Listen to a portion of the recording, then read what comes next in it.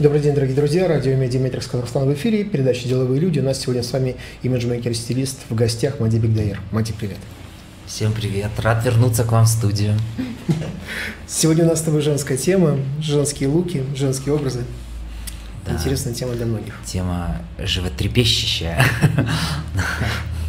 Единственное, только хотел немножечко уточнить, не имиджмейкер, все-таки имидж-стилист, потому что действительно очень многие не разбираются в, в терминологии и не- я даже среди своих коллег замечаю, как многие представляются имиджмейкерами, но хотя это несколько разные направления, потому что имиджмейкер человек, который создает имидж человека, да, имидж человека это не только его внешность, это его история, образование, семья, воспитание и так далее. Стилист этим не занимается ни в коем случае. К стилисту человек приходит уже со своей историей, он должен ее стилизовать, эту историю, да, придать ей какую-то оболочку внешнюю, презентабельную. Класс. Вот. Спасибо, имидж- что пояснил. Это очень важно. Имиджмейкеры это те, Да. которые вот с политиками работают, с артистами, со звездами, с музыкантами и так далее. А мы вот имидж-стилисты, мы скромные. Да. Имидж-стилист. Не скромные, нет, нет, нет. От вас очень много зависит. Ну да, как выяснилось. Абсолютно. как выясняется. Действительно, тема очень же трепещущая, потому что понятно, в прошлый раз о мужчинах поговорили, было интересно, действительно очень много интересных комментариев, очень много вопросов было, и такой отзыв теплый пошел нам в моих социальных сетях, среди моих знакомых, среди моих коллег, среди моих учеников. Но мужчины, как мы в прошлый раз выяснили, это и все еще зачаточное состояние. С женщинами вроде бы все должно быть полегче, но должно не значит обязано. Да. Все совсем нелегко, все совсем непросто. Потому что, опять же, а, патриархальное общество, когда вроде бы женщина должна быть тонкой, кроткой, изящной, мягкой, слабой и так далее, при этом при всем амбиции феминистического настроения, когда ты все на себе, на своем горбу, на своих плечах, а, при этом при всем а, постсоветская статистика матерей-одиночек, женщин-одиночек и неумение выстраивать э, общение, завязывать знакомства и так далее. Все это такой винегрет, салат получился. И на женщину смотришь чаще всего а, во время интервью, я к ней прям обращаюсь, я говорю, ты кто вообще? Ты сама-то хоть понимаешь, какой у тебя образ? Что ты этому миру-то вообще пытаешься транслировать? А, а- определись хотя бы для себя, кто у тебя там внутри сидит, что за человек ты. Вот, очень многие не понимают. Вот как-то так разменяли себя. А что нужно транслировать женщине в мир?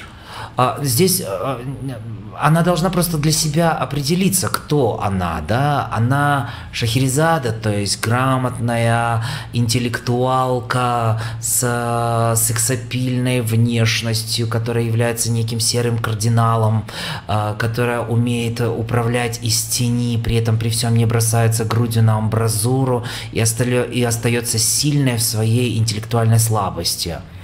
Либо ты Кармен, революционерша, провокатор, а, эмансипе и феминистка, которая является абсолютно самодостаточной, и ей не нужна никакая поддержка извне, со стороны. а, Либо ты принцесса, которая является мотиватором там, для героев, которые должны рубить головы драконам, прыгать для нее по балконам и расписывать тротуары, да, А, ну то есть четко выбрать для себя определенную позицию, это не значит там на всю жизнь там или на десятилетия, хотя бы на сегодняшний день ты кто? Определись, потому что очень многие женщины, ну, э, в разговоре всплывают такие темы по поводу, почему мне не протягивают руку, почему мне не целуют руку, почему меня не приглашают на танец и так далее. И сразу хочется ее взять, подвести к зеркалу и сказать, так, а давай посмотрим на твои уги, на твой спортивный костюм, на отсутствующий перманентно вообще макияж и на твою манеру общения, не только с мужчинами, а вообще с любыми людьми в принципе. И а, где в твоем поведении проскальзывает момент, на который я должен а, клюнуть и решить, что я хочу с тобой потанцевать. А мужчина же чувствует это. Конечно, мужчина, э, вот ты не дашь мне соврать, мужчина очень же рациональный и в хорошем смысле предсказуемый. Нам покажи еду, мы будем испытывать чувство голода. Нам покажи секс, э, мы будем испытывать сексуальное влечение. Нам покажи шикарную э, кандидата на выстраивание там ячейки общества и прекрасную будущую мать моих замечательных детей, я буду думать о продолжении рода. То есть мы предсказуемы абсолютно. Скрытно в этом смысле, в хорошем смысле, еще раз повторюсь. А женщина, которая приходит ко мне и говорит, да что такое, я невидимка для мужиков там на работе или на улице и так далее. Я говорю, так, пошли к зеркалу, скажи мне, на что в твоем виде я как мужик должен клюнуть, на что я здесь должен обратить внимание? На твои бабушкины брюки, на твою грязную голову, на твой отсутствующий макияж, на твои э, доисторические очки в роговой оправе? Или обувь на плоском каблуке, там, прощай молодость. Что я здесь как мужчина должен оценить в тебе, как в женщине? И вот ей сложнее. А. Намного, мне кажется. Но, как Или... сказать, здесь нет, нет, не сложнее, да никому не сложнее. Просто нужно понять, что ты хочешь и что для этого нужно сделать. А, что я хочу, многие, слава богу, с горем пополам начинают понимать. А что для этого нужно сделать, как-то вот не доходит еще пока опыта. Хорошо, с чего начать? Что ей нужно сделать? Сначала нужно понять, кто ты есть. Вот прям сесть перед зеркалом, да, и подумать, какая ты, где твои сильные стороны. Ты утонченная, изящная, летящая фея. Или ты пышная, а, с формами, вкусная мечта поэта. Или ты прям мужик в юбке, и ты эмансипе, и ты абсолютно независимая. Или ты нежная мама, хранительница очага, такая горлица под крылом которой там вся семья себя комфортно чувствует. Кто ты? Пойми свой образ. Да, ты, а, ну, я не знаю, ты знаком с такой э, системой, когда пять разных стадий женщины, там женщина а, а, шлюха в постели, mm-hmm. там жена, да, и друг, жена, там что-то мать и так далее, и так далее. Ну вот, вот эти стадии. Нужно понять, кто ты, в какой стадии ты сейчас находишься. Если ты сама этого не можешь сделать, добро пожаловать к психологам, а, добро пожаловать к стилистам, да, добро пожаловать в библиотеку. Читай книжки и, и понимай, кто ты есть. Дальше, когда ты поняла, кто ты есть, ты поняла свою точку А. Теперь назначь точку Б, куда ты хочешь. Ты хочешь стать э, супер бизнес-леди, э, железной леди, выстро выстроившей свою империю, да, там бизнес-империю, еще что-то такое. Или ты хочешь создать э, семью любящую, да, а, с многодетную, не многодетную, неважно, но с любимым, крепким, надежным мужчиной рядом, да, и с любящими тебя детьми. Либо ты хочешь что? Ну, ты хочешь путешествовать, ты хочешь свободу, ты хочешь меняющиеся планы, лица людей, декорации, там, и все остальное. Назначь точку Б. Все. Теперь у тебя есть точка А и точка Б. Теперь нужно назначить путь от этой точки А к этой точке Б. То есть что нужно сделать для того, чтобы этот путь был максимально прямой, максимально без лишних поворотов, да, и так далее. Ну вот, какой-то такой мужской у меня немножко Слушай, ну страшно же меняться, мне кажется, женщине в этом отношении. Если, а за... если я привыкла все сама, она говорит. Да. И да. как я теперь вот это вот, я не сама вдруг буду? Так, так в том-то и прикол, что меняться для этого не нужно. Если ты все сама, то э, обычно женщины, которые я все сама, я все сама, они не говорят про то, что ой, надо, надо быть принцессой, надо быть нежной, надо быть ранимой, надо быть слабой. Нет, они говорят, а можно так вот, я все сама, но как-то, чтобы вот рядом еще кто-то был. Да, ну там какой-нибудь, может быть, подкаблучник, может, который будет там сумочки носить, э, что-то такое, да, за ней поэтому здесь не нужно меняться ни в коем случае. Вот, кстати, не очень корректная формулировка также со стороны клиентов происходит, когда они приходят и говорят, слушай, измени меня, да, создай для меня какой-то другой образ. Я всегда отвечаю, говорю, нет, ну это, это невозможно, потому что, ну что такое менять человека? Нет, я могу найти лучший ракурс для тебя да, то есть а, взвесить и определить все твои природные данные и найти прям вот идеальный образ, который будет и привлекателен для окружения, и гармоничен, и экологичен для тебя. Вот, У меня стороны. был вчера бизнес-разбор э, с молодой девушкой, и она говорит, я поняла, почему я не развиваюсь. Я боюсь развития. Вау. Угу. mm Мне вот здорово, если вот мужчина, который рядом со мной, вот он бы развивался. mm А мне вот так вот хорошо не развиваться. Ей Но при этом Астон Мартин, Porsche, два Мерседеса в целях. Понимаешь, mm-hmm. вот я хочу, но... Да. но другими ресурсами. Но другими ресурсами, да. Да, я хочу, но я не хочу для этого ничего делать. Да. Я хочу, чтобы пришел он угу. с этими э, машинами, с этими благами. Так ведь на эти машины нужно выглядеть. Я говорю, ты даже если он придет, на эти машины нужно тебе самой выглядеть. Если короткий путь, если она хочет короткий путь, чтобы они вот случились буквально в этом году, в следующем году, тогда да, нужно поднять свой ценник, чтобы соответствовать, э, соответствовать мужчине, у которого есть этот уровень, который занимает этот уровень. Но есть еще и более долгий путь, можно не соответствовать, и тогда ты встретишь мужчину такого же уровня, и вы вместе с ним будете потихонечку да, да. карабкаться до этих автомобилей, до всех этих благ современных. Но это долгий путь, да, так, так, так хотят мало людей. Все хотят все быстро. быстро. Все хотят, но делать для этого ничего не хотят. И вот я всегда говорю о том, что стилистика, внешний вид – это самый быстрый, самый безопасный э, путь для того, чтобы получить желаемое. И да? он, по-моему, экологичный самый. Очень экологичный, очень. Здесь тоже, это тоже нелегко, потому что если бы это было легко, все бы ходили уже красивые, успешные, счастливые, любимые, да, и так далее. Это тоже нелегко, естественно, потому что все равно надо как-то чуть-чуть себя э, тормошить, немножечко себя выпихивать из зоны комфорта этой злосчастной, да, и так далее. Но, но он очень экологичный, и он очень-очень быстрый. У меня, знаешь, была такая история, можно я ее расскажу? Я постараюсь кратко. Одна женщина обратилась ко мне, э, у нее нее шестеро детей на момент 32 лет. То есть 32 года, шестеро детей, нет ни близнецов, ни двойняшек, ничего, все родились в разное время. Ну, то есть ты представляешь, да, молодая абсолютно, времени нет. И при этом она еще успевает работать, у нее еще два магазина э, кондитерских изделий, там шоколадные тортики и все остальное. Вот я, конечно, удивился очень-очень сильно, говорю, как так? Ну, и для меня сразу все понятно, почему она обратилась к стилисту, потому что в графике нет времени на то, чтобы заниматься самолечением. Здесь нужно обращаться к профессионалу, который в кратчайшие сроки там удовлетворит, удовлетворит всем твоим потребностям, да.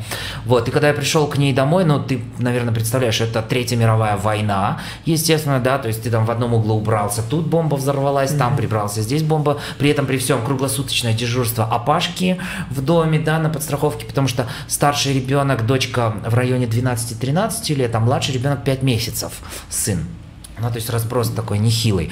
И вот бабушка там дежурит, папы дома нет вообще априори, потому что эту араву надо кормить, естественно. То есть папа такой настоящий добытчик, который там занимается своими делами.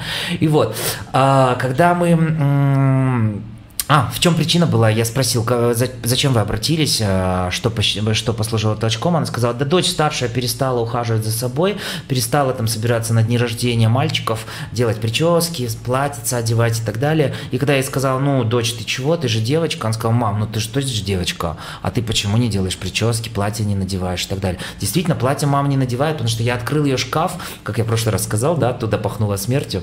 Вот. Я открыл ее шкаф, а там висит четыре с половиной коллеги, из которых которых два платья для беременных. Я, конечно, ее затроллил, я сказал, ну я понимаю, это ваше перманентное состояние, как бы. Я говорю, ну вы сейчас не беременны, почему здесь эти платья и все, больше ничего нет, да, как бы. Она говорит, ну все, вот что привыкла носить, то и ношу, в принципе.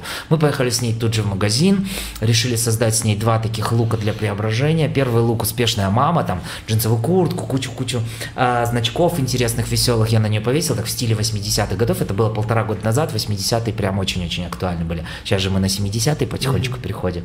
И я ей сказал, ну вот смотрите, там футболка такая в резиновых утятах, говорю, вашим детям очень понравится. Вот эти значки, на куртке. Я говорю, будете потихоньку на дочку на свою перестегивать и будете ее потихоньку вот так приучать к, к украшательству. Ну, в общем, концептуально я так подошел к формированию стиля. А второй лук мы ей подобрали как успешной бизнес-леди, которая вот владеет этими а, вкусными магазинами. Там ей пижамный костюмчик такой серого цвета, универсальный абсолютно, согласно нормам деловой этики. И при этом брошь в виде пирожного, два блузона, один лимонного цвета, другой шоколадного цвета. Тоже чувствуешь концепцию, да, в принципе, mm-hmm. понимаешь. И когда когда мы с ней встретились через два дня в салоне красоты, она приехала в новой одежде. Я говорю, а почему в новой одежде? Нам же нужно до, фото, до фотографию сделать, после фотографию сделать, чтобы это а, преображение было, ну, такое на лицо. Она сказала, вы знаете, я не могу носить старую одежду. Я говорю, ну, я все понимаю, конечно, но вы же ее носили как-то до меня. Поэтому еще один денечек можете надеть, чтобы мы сфотографировались. Она говорит, да даже дело не в том, что она плохая, хорошая, там, новая одежда или еще что-то такое. Говорит, просто за эти два дня произошло чудо. И вот она рассказывает, как она приехала, у нее такая огромная машина, понимаешь, на школьный автобус похожа, ну, да, по понятным причинам, вот. И она заехала в школу за своим каким-то там средним сыном, ему там лет 6-7, ну, то есть первый, второй класс где-то приблизительно, там, может догадаться, где он там среди этих, э, этой шестерни, в общем, и она открывает машину, он должен был запрыгнуть, и вот как они обычно едут дальше всю эту араву по городу собирать. А он не садится в машину, зовет ее с собой в школу, она выходит, он берет ее за руку, заводит в школу, но она уже стала переживать, думает, может, там вызвали, что-нибудь натворил, еще что-то такое, а он ее повел по школе и начал ее знакомить со всеми учителями, со всеми друзьями, он начал ее всем представлять, он начал ее всем показывать, да, то есть он реально начал ей гордиться. И, и я ей говорю, ну вы же понимаете, что это всего лишь одежда, это всего лишь два дня и всего лишь там 3-4 часа в торговом центре. Мы не проходили с вами психологические сессии, мы не прокачивали ваш образ изнутри, мы не двигали вашу крышу, мозг и все остальное, мы не разговаривали с семьей, мы не прокачивали ваши внутренние отношения, мы просто поменяли ваш образ, мы даже прическу с макияжем не успели за эти два дня наложить. Мы только купили новую одежду. Но этот маленький шестилетний мужчина все увидел, все понял и правильно отреагировал. Вау. Понимаешь? Мади, это же вообще просто, Это круто. Да? Это очень круто. Да, я, я обожаю свою работу, потому что она каждый день вот наполнена такими чудесами. Это очень круто. Угу. Хорошо.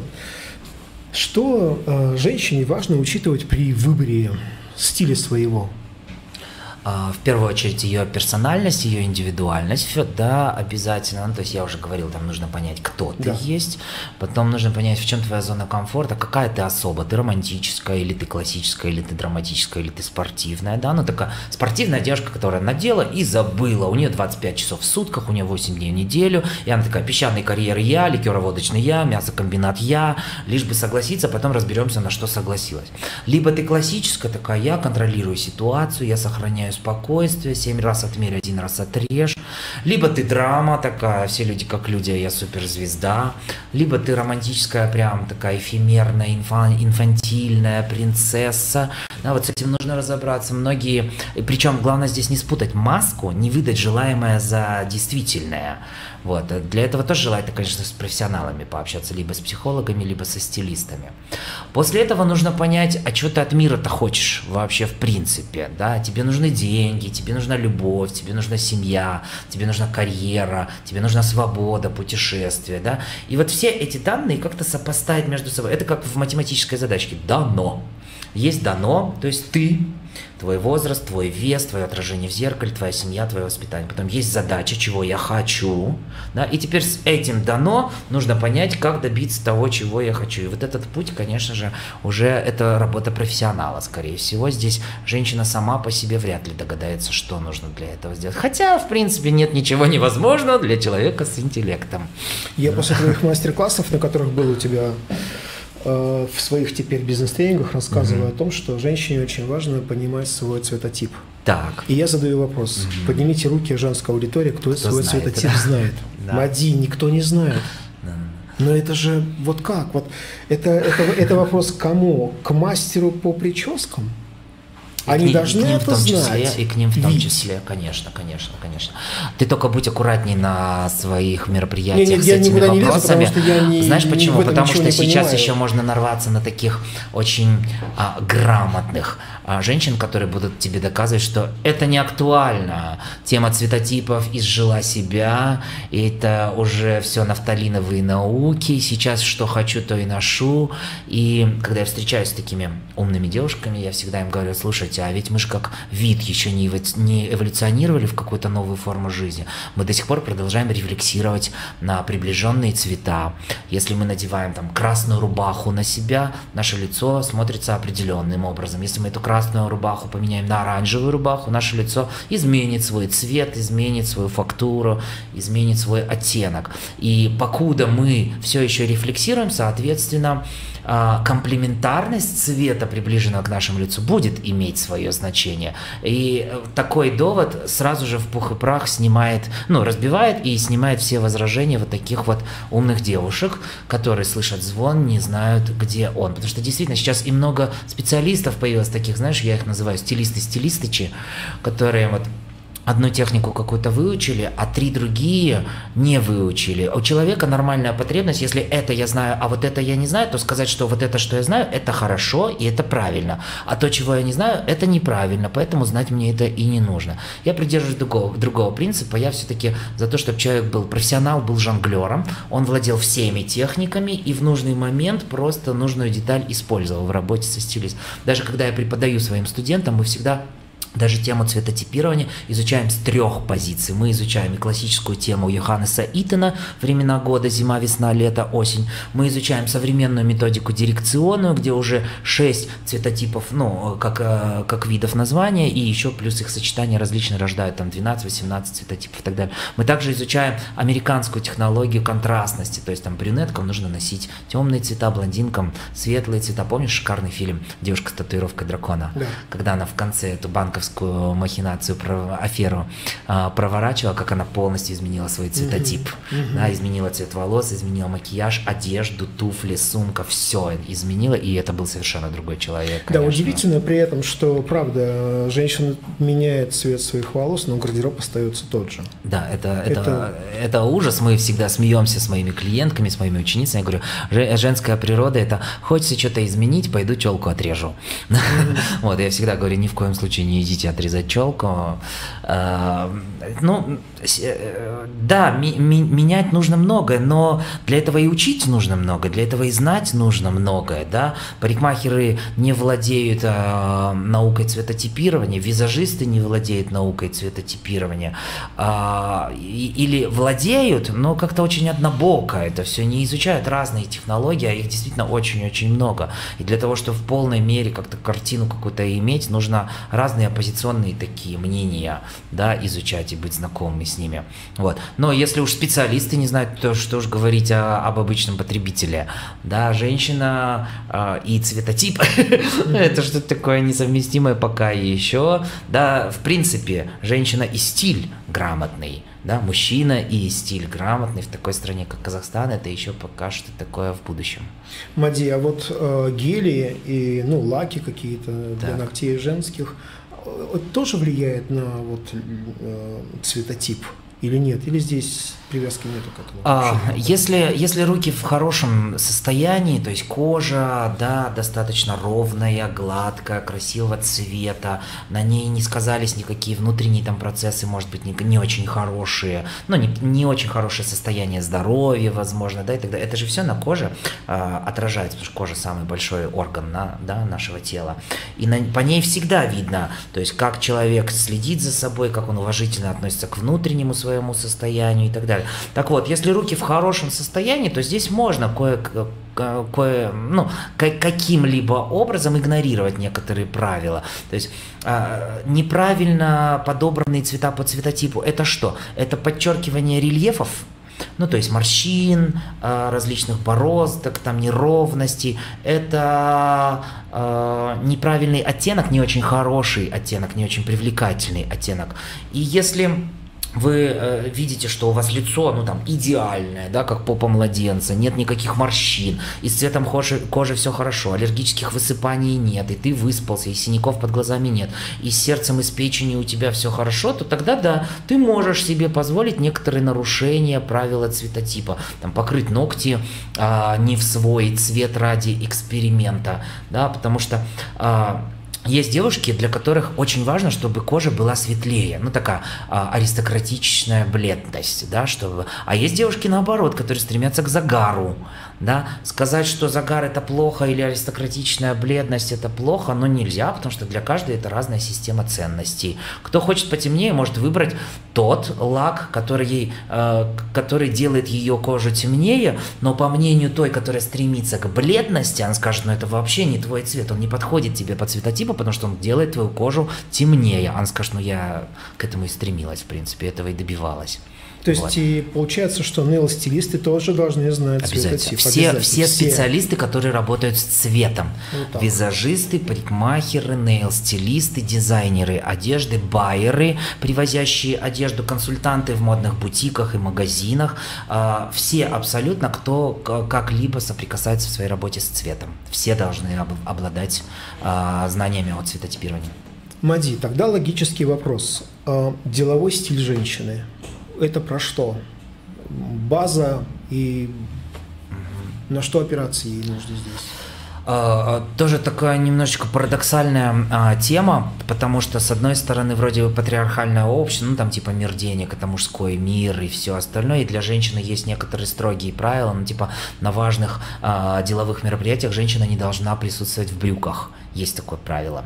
То есть, если она выходит на сцену, если она ведет презентацию, если она а, защищает какой-то проект, если она выступает в качестве спикера, если она подписывает дорогостоящие документы, если это встреча на высоком уровне с аббревиатурой BB, да, Business Best, то женщина только либо в юбке, либо в платье, ни в коем случае не в брюках, но это имеет отношение к конкуренции, там и все остальное, то, что не очень нравится, скажем так, сильно мира сего, э, простите за эту формулировку, вот, но при этом, при всем, э, и пользоваться слишком женскими штучками тоже запрещено, ну, то есть слишком яркий макияж, слишком агрессивный, агрессивная парфюмерия, парфюмерия, в принципе, так же, как и для мужчин, в деловой сфере недопустимо. Очень много блеска, никакой прозрачности, никаких, никаких намеков на сексуальность. То есть нельзя открывать педикюр, например, нельзя оставлять открытой пятку или пальцы на ногах.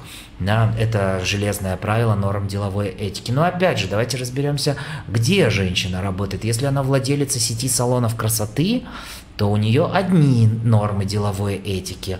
Если она начальник финансового отдела в каком-нибудь банке, да, и так далее, то тогда, конечно, это совершенно другие, более консервативные нормы деловой этики. Вот. И э, в деловой сфере чаще всего мы не проводим границу между мужским образом и женским образом. То есть цвета синий, серый, коричневый, как для мужчин, так и для женщин. Отсутствие блеска, бриллиантов, изумрудов, страз, Сваровский и так далее, как для мужчин, так и для женщин. Э, отсутствие люрикса, шелкового блеска, излишнего лоска, да, так как для мужчин, так и для женщин женщин, а, ну, про парфюмерию уже сказал, лаковая кожа, да, недопустима в деловой сфере как для мужчин, так и для женщин. Здесь вот как-то нет такого понимания, там, мужчина или женщина, бизнес-леди или бизнесмен. Даже часы и мужчины, и женщины в деловой сфере должны носить на левой руке, потому что все абсолютно в деловой сфере приветствуют друг друга рукопожатием. Никто никому руки не целует. Ты на мастер-классе на одном сказал про, три, про трикотаж. О трикотаже да. ты рассказывал. Про что... сопливый трикотаж. Да, вот, вот, вот можно вот это вот здесь в эфире сказать. Да, ой, с удовольствием, конечно, я же злой стилист, да. Сопливый трикотаж – это тонкая шерстяная ткань, натуральная, очень теплая, очень уютная, но такая предательски выдающая все нюансы тела. Если у женщины есть а, непосильно нажитые секреты от общества, все, что запасено на зиму, да, то сопливый трикотажик, сопливый – это значит тоненький тоненький, неформодержащий. Неформодержащий трикотаж является ее врагом, а, потому что он выдаст все неровности абсолютно, он выдаст рельефы тела, он выдаст любую складку, он выдаст даже неправильно подобранное белье. Если у вас есть складочки на спине, на животе, да, еще что-то такое, сопливый трикотаж, все это обнимет мягенько, ничего не скорректирует, только продемонстрирует общество.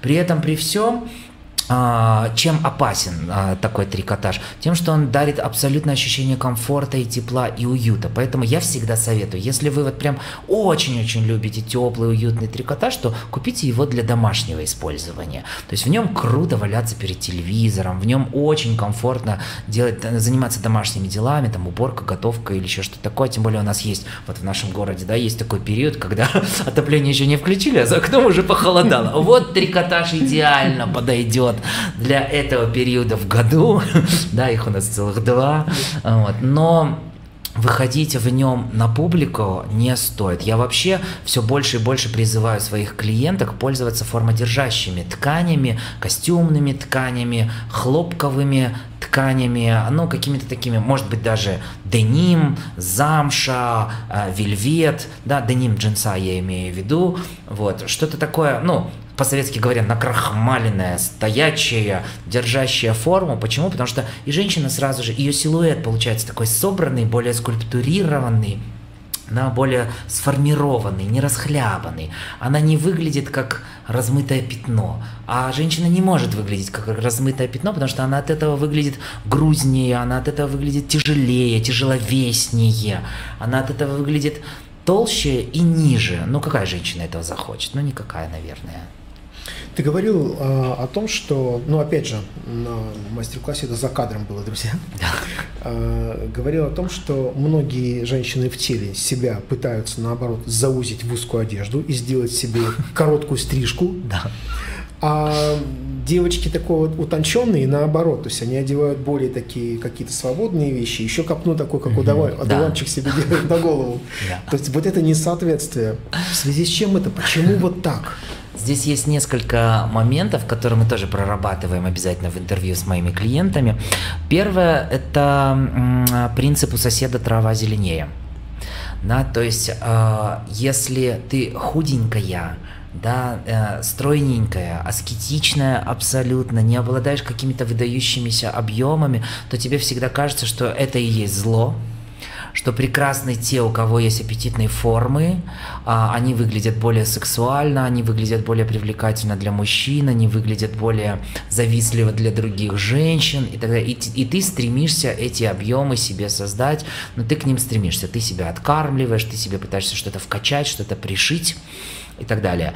Если же ты корпулентная особа, ты обладаешь уже вкусными формами и так далее, то, естественно, для тебя идеал красоты – это аскетичная фигура, абсолютно стройная, абсолютно миниатюрная. Это нормальная женская природа, потому что женщина, в отличие от мужчины, это существо эмоциональное, да, и лабиринт женских мыслей способен свою владелицу увести очень-очень далеко от истины. Вот. А с мужчинами, слава богу, это происходит гораздо реже, потому что мы существа рациональные. Вот. Ну, на этом, э, в принципе, плюсы заканчиваются. У нас одновременно два полушария не могут работать, как у них. Да-да-да, я удивляюсь, как Юлий Цезарь, по слухам, что это мог делать одновременно. Окей. Так вот. А, ну, то есть, стремление к тому, чего у тебя нет. И моя, моя работа с клиентками всегда начинается с того, чтобы понять, принять и полюбить. Да, то есть, если у тебя трапециевидный тип фигуры, а для женщины это все изначально априори зло. Как так? Трапеция, это значит, у меня тяжелые бедра и недостаточно там объема наверху и все остальное. А когда ты начинаешь рассказывать про то, что такой же фигурой обладает Джей Ло, Бейонсе, Риана, Ники Минаж, Ким Кардашьян, Софи Лорен, Мерлин Монро, да, и Моника Белучи, она такая, М, слушай, ну так это ж, видимо, неплохо, да? А другой девушке аскетичной, ты говоришь, слушай, ну у тебя треугольная фигура. Она говорит, все, отдаст, треугольная фигура, я трехрожковая вешалка, пойду вешаться.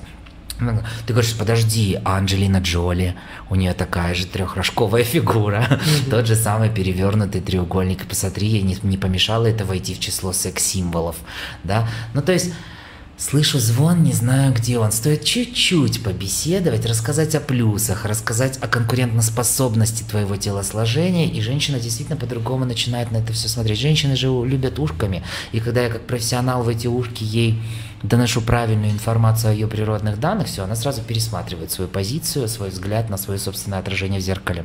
Второй момент, о котором я говорю, это ощущение корсета.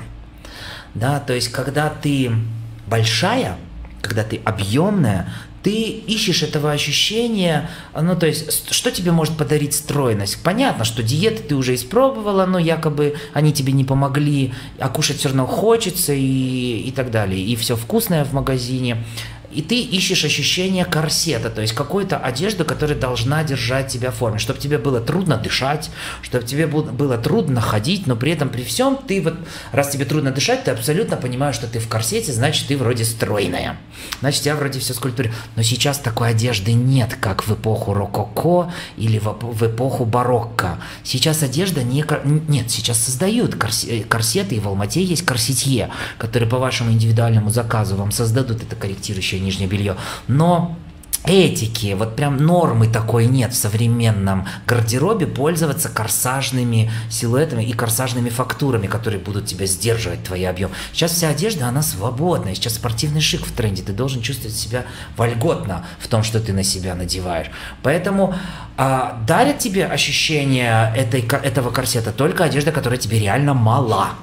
То есть ты XL, ты надеваешь на себя М-ку, и все. И здесь у тебя все пошло складками, у тебя все пошло горизонтальными какими-то полосами, тебе дышать сложно, нагнуться ты не можешь, присесть ты не можешь, и у тебя ощущение, что ты в корсете. А раз ты в корсете, значит ты стройная.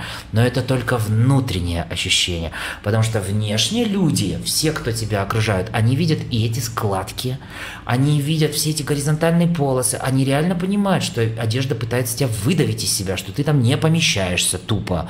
Да, получается, все, что ты пыталась скрыть, ты только, наоборот, продемонстрировала всем. И вот здесь действительно а, включается такой принцип соразмерности. Его нужно запомнить раз и навсегда. Большие объемы можно скрыть только еще большим объемом. Элементарный пример из жизни. Когда мы смотрим на Аллу Борисовну Пугачеву в ее чехлах из-под танков, мы никогда не представляем внутри тетю гусеницу. Нам всегда кажется, что там все на месте. Ноги на месте, живот на месте, ягодицы на месте и так далее. Почему? Потому что психология человеческого взгляда, она оптимистична. Когда мы не видим реальных объемов, мы всегда стремимся нарисовать себе себе идеал. Поэтому, чтобы выглядеть идеально при неидеальном телосложении, нужно эти объемы скрывать под еще большими объемами. Люди все дофантазируют, все дорисуют, и ты будешь выглядеть круто. А когда ты всем показал, что талии у тебя нет, и вместо талии у тебя три живота, ты это все обтянул, людям не надо ничего фантазировать. Они видят три живота, они видят три спины, они видят большие бедра, они все видят, им не надо ничего придумывать.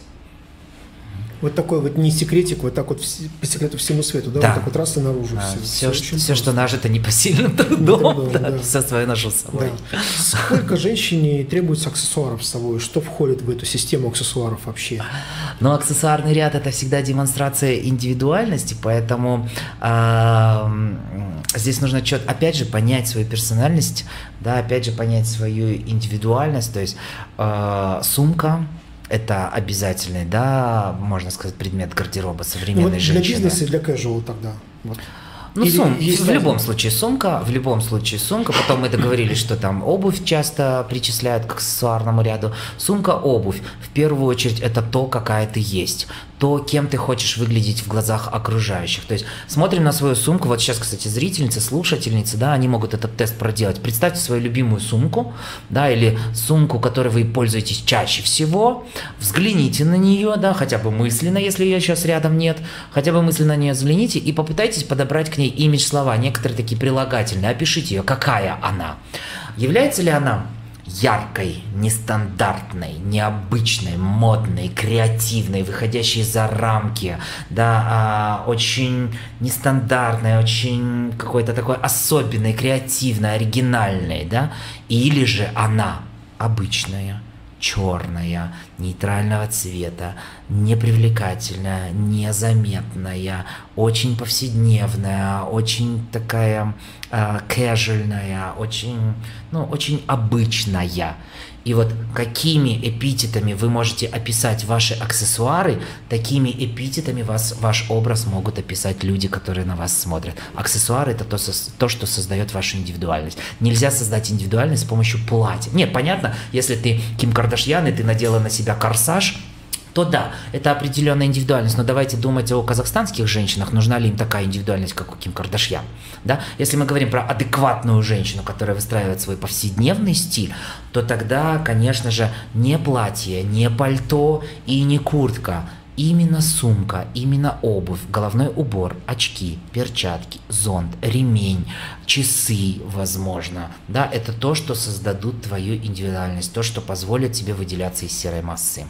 А сумка, а, ремень и обувь одного цвета в тон или нет? В бизнес, в а, бизнес. сфере, да, в деловой капсуле лучше следить за этим правилом. В повседневной и вечерней капсуле лучше это правило нарушать, но нарушать его умеючи, дабы не прослыть человеком с отсутствующей фантазией.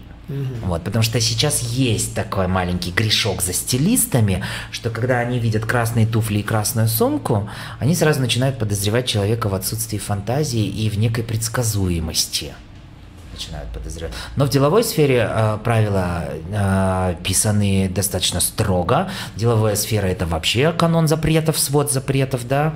Вот, поэтому здесь, здесь правило, да, черная обувь, черная сумка, черный ремень, черное портмоне. В повседневной сфере нарушайте, создавайте креативные цветовые сочетания. Ну, а, если кто этой темой интересуется, то могу подсказать цветовой круг Иттона или цветовой круг Гёте. Загуглите, почитайте. Что в сегодняшнем дне, а, есть ли какие-то, ну не знаю, нюансы, которые вот модные, штучки какие-то, Модные штучки. секретики, не знаю, что сегодня для женщины важно, как можно себя выделить? Вот так, если ну, вот, да. мне очень легко, э, как, как стилисту, работающему в Казахстане, потому что я могу говорить абсолютно нормальные вещи, и они всегда будут восприниматься как некий хит. Потому что у нас это не в популярности, это не является попсой для нас. У нас, да, если весь мир моды, вот, допустим, я каждый год езжу на съезд, международный съезд стилистов, вот скоро уже через месяц опять отправляюсь на следующий, мы там разговариваем о передовых технологиях стилистики, ну, то есть, может быть, ты слышал о таком а, ткань-обнимашка? Ну, это мы так между собой его называем. А, допустим, а, мужчина и женщина, которые любят друг друга, да, купили футболки из этой ткани, разъехались там в командировке или еще куда-либо, созвонились, через мобильное приложение включили функцию, он трогает себя, она чувствует его прикосновение например. Или а, тоже есть очень много видео уже в социальных сетях, в интернете есть, когда ты выходишь в белом платье, через мобильное приложение ты включаешь, оно превращается в черное платье, а, причем это не какая-то игра освещения, а реально молекулы меняют свой цвет, вот, и ткань, она может превратиться в шахматную клетку. Живая одежда. Там, так, да, то есть очень подвижные молекулы а, работают. Потом, например, есть украшения а, про, про, проекционные. Ты надеваешь брошь а, через мобильное приложение или на кнопочки на этой броши, ты включаешь функцию, и у тебя на шее появляется колье да, то есть, э, причем это не обязательно бриллианты там и, и металлы, это может быть бегущий мустанг, это могут быть летящие киты у тебя на шее, да, ну, то есть ты выбираешь самостоятельно дизайн, что ты хочешь, чтобы у тебя на шее появилось. Ну вот, это то, о чем, это то, куда движется весь современный мир. Но в Казахстане я провожу каждый месяц мастер-классы о том, что нужно иметь белую сорочку, сочетать ее с юбкой-карандашом, и что не нужно надевать черные колготки на работу. Понимаешь? Поэтому, а какой бы банальной вещи я не говорил в Казахстане, это всегда вау, это что-то новое. Мадина, это же высоченные технологии, то, о чем ты говоришь. Да, это да. Же... А, э, индустрия моды, это же огромная индустрия. Она всегда, всю историю вот после технического прогресса человечества, он, все эти годы, эти десятилетия, а может даже уже и сотни лет, она всегда боролась за второе место с э, индустрией питания. На первом месте... А, нет, Питание это первое место, прости, пожалуйста. Питание это первое место, второе место это лекарство и мода и одежда. Вот одежда и лекарства, они все время то второе, то третье, то второе, то третье, вот борются между собой. Это огромные деньги, это огромные вложения, потому что, как ни крути, каждый день нам что-то на себя нужно надевать как ни крути. А еще и встречают по одежке, и это статус определен, а это еще иногда терапия, а это еще иногда награда за твои какие-то труды, работу, да, и так далее. Это еще и способ коммуникации, это еще и градация по классам, сословиям там и все остальное, если мы в современном мире можем использовать такой, такие понятия. Ну, то есть это, это очень-очень-очень большая индустрия, куда вкладываются огромные деньги, поэтому она развивается семимильными шагами, и технологии будущего уже задействованы. Получается, что техническая промышленная революция, uh-huh. в которой мы уже, то есть это касается и моды тоже, а, то, всегда. что ты сейчас сказал о том, да. что возникает по кнопочке или через мобильное да. приложение, это же Вспомни, как в 20-х годах появилась такая субкультура среди женщин флэперы. Ну, вот Коко Шанель является ярким э, э, представителем этой субкультуры, когда женщины, о май гад, начали носить юбки длины мидии, и у них обувь стала видна из-под платья. А когда они надели кюлоты на себя, короткие широкие брюки, так это же вообще ужас был, да? Как она могла себе позволить? А благодаря чему? Потому что спорт начал развиваться, потому что велосипедистки появились, да? Естественно, в платьях и турнюрах они могли могли убиться и убивались. Были такие случаи плачевные на велосипедах, да. А вспомни 60-е годы появились нейлоновые колготки, капроновые колготки, появились пластиковые ботфорты, появилась лакированная искусственная кожа. Благодаря чему? Потому что Гагарин полетел в космос и появилось очень много синтетических тканей. Мода всегда же идет параллельно с научно-техническим прогрессом. И я знаю, что некоторые космические э, части использованы здесь в моде. Да, ну, а, то, материалы, что материалы, да, да, то, что имеешь, акрил, например. Потом, да, например, акрил. Да, с 60-х годов он был безумно популярен, но сейчас уже он теряет свою актуальность, потому что мы переходим на экологический стиль, опять же, э, исходя из всей ситуации глобальной, что творится в мире. Да, мы переходим на древесные волокна, мы переходим на вторичную переработку пластика, ну, вторсырье очень активно используется. Почему? Потому что мы заботимся сейчас о сохранности природы. Вот и мода э, в первых рядах. Вот ты вспомни там, модный дом Гуччи, они отказались, этот тренд называется Fear Free, полностью отказались от натурального меха. Да, сейчас э, самая актуальная кожа это кожа единорога, да, то есть эко-кожа, самый натуральный, э, самый модный мех – это мех чебурашки. Ну, в Америке называется teddy bear, да, то есть искусственный мех. Такой же теплый, такой же. У меня есть шуба из искусственного меха, она очень теплая. Я жил в ней три недели в Нур-Султане в январе и я выжил. да, мне не было холодно. А вот, э, вот хорошо, что ты сейчас сказал об этом. Спасибо огромное, потому что я недавно слышал в магазине, как две женщины смотрели э, обувь, себе выбирали туфли, и одна другая говорит, да это же не кожа, зачем ты это смотришь? Да, Советский Союз, это же не круто, меня да. же на свадьбе все на то и же засмеют, что я бешарашка ношу эко-кожу, боже мой, 21 век, сейчас не, не крут тот, ради кого кто-то умер, да, сейчас крут тот, кто крут в голове, кто а, любящий кто любим, кто полноценен, кто здоров, кто счастлив. Вот тот крут человек, а не тот, кто рыжим золотом усыпался и надел на себя волка. Да, согласен. Хорошо. В casual что необходимо женщине здесь использовать для себя? То есть, или он настолько фантастично свободный, угу. Но есть, Или есть, есть какие-то вот. Есть да. такая мудрость, что современный casual больше разрешает, нежели запрещает.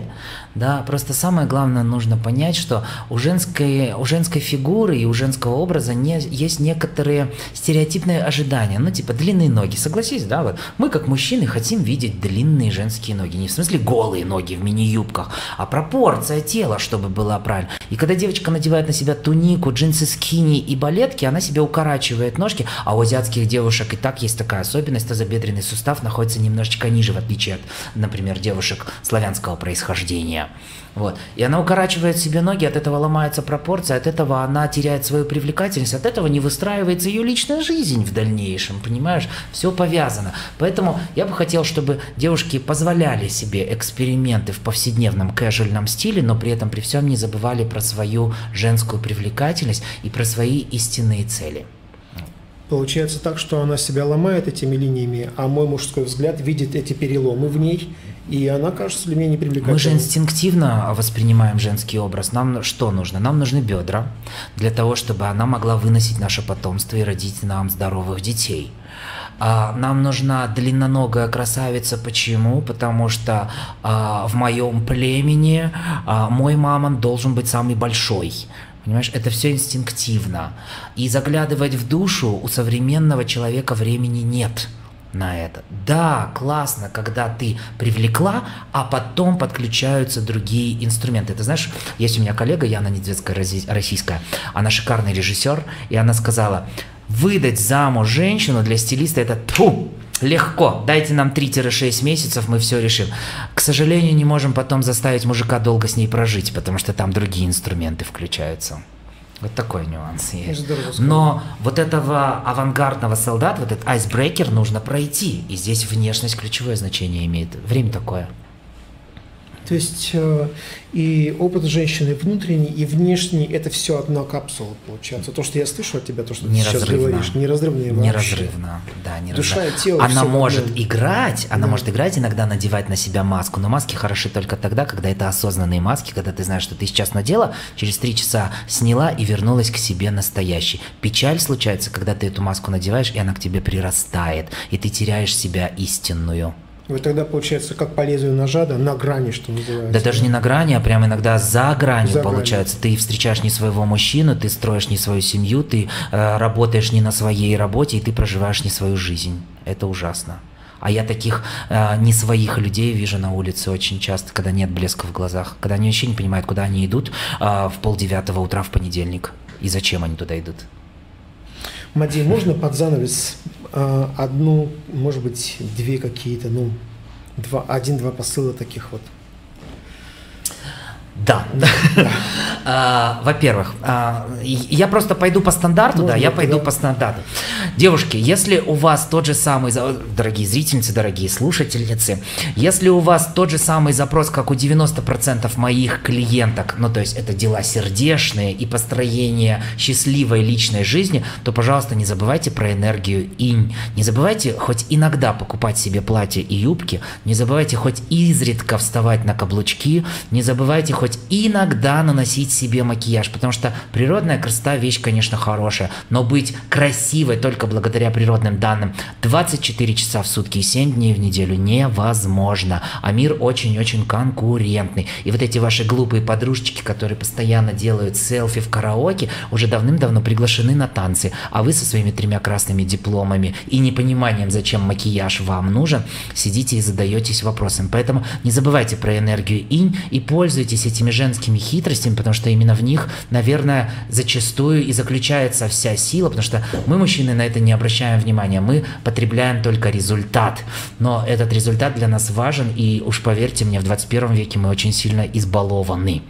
Но а если э, для вас не является целью привлечения внимания противоположного пола, а какой-то внут, какая-то внутренняя гармония, то тогда очень важно понять, кто вы, где вы, зачем вы и что вы хотите э, донести этому миру. Э, если самим не получается в этом вопросе разобраться, то добро пожаловать к профессиональным стилистам, ну или как минимум профессиональным психологам. Мади Бигдаир, имидж-стилист передачи «Деловые люди». Смотрите нас через неделю. Мади, спасибо тебе большое. Спасибо тебе. Всем пока.